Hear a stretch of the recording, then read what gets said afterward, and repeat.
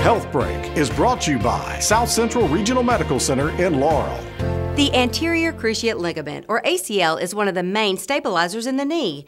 But the jumping and pivoting in sports like soccer, basketball, and volleyball can put immense stress on an ACL and cause it to tear. Fortunately, Dr. Derek Burgess says South Central Regional Medical Center can help young females avoid ACL tears. The Sports Metrics program is designed to decrease the rate of injury of the anterior cruciate ligament in female athletes. There are special programs that are focused on plyometrics, jump training, flexibility, and strengthening that decrease the rate of ACL injury. Sports metrics happens to be one of those that are scientifically proven to decrease the rate of anterior cruciate ligament injury. We offer that program in our sports performance program here at South Central Regional Medical Center. The South Central team will record a young athlete jumping, landing, and pivoting to see when, where, and how much pressure is applied to the knee. We'll tailor the treatment towards them. They'll go through a six week course where they do different agilities, different jump landing techniques, how to properly land, how to properly switch directions to pivot. And there are many other benefits any male or female athlete can gain through the Sports Metrics program. It's more geared towards female athletes in between the ages of 13 and 18 years old. It's also a good way to increase your performance. Strengthening studies have shown that it increases your speed as well as your